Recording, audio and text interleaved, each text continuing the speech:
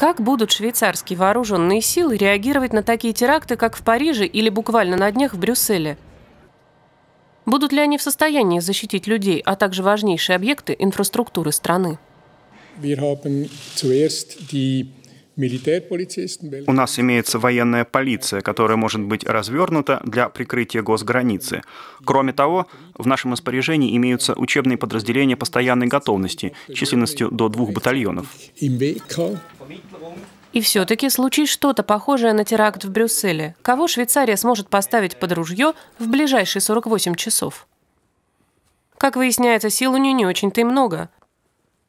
100 человек из числа военных полицейских, 170 военнослужащих регулярной армии и 800 солдат запаса, проходящих военную переподготовку, то есть всего чуть больше тысячи человек. Mit 1000 Leuten könnt ihr grundsätzlich Таким количеством войск можно эффективно прикрыть или один крупный, или два-три средних объекта инфраструктуры. Крупным объектом может быть аэропорт или атомная электростанция, и мы уже много раз отрабатывали такого рода сценарии. Есть у нас и опыт, накопленный в рамках обеспечения безопасности Всемирного форума в Давосе.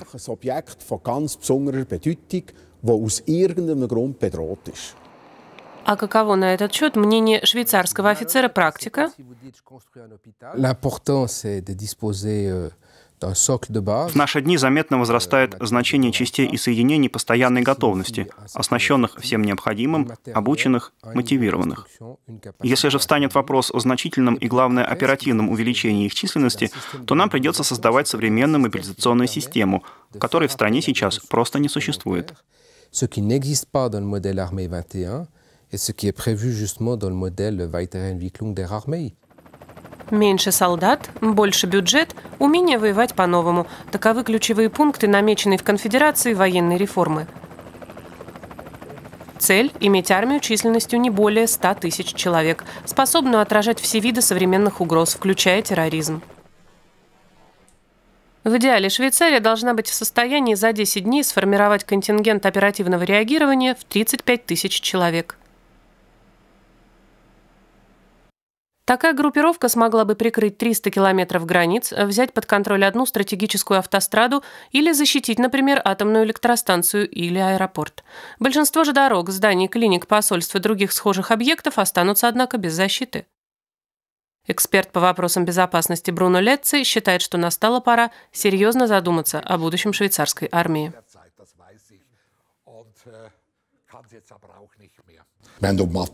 Мы в Швейцарии очень глубоко обсуждаем вопросы оснащения, финансирования вооруженных сил, но мы пока так и не поставили самый, наверное, главный вопрос, а именно, какова основная задача нашей армии, для чего она вообще существует. По мнению Летцы, обеспечить успешное будущее швейцарской армии можно только укреплением ее сотрудничества с партнерами за рубежом.